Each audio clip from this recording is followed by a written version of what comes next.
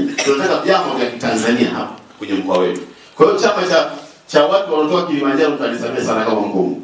Kuanzia sasa sitaki kusikia mikutano inafanyika kwenye mkoa huu kama nilivyokivunja chama cha watu wa Mara kule Merelani. DC simamie hilo na vyombo vyote najua mnalisikia, simamieni hilo.